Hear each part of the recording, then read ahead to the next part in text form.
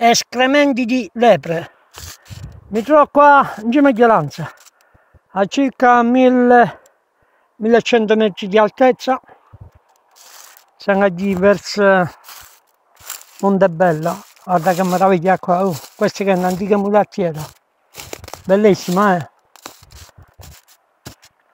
eh?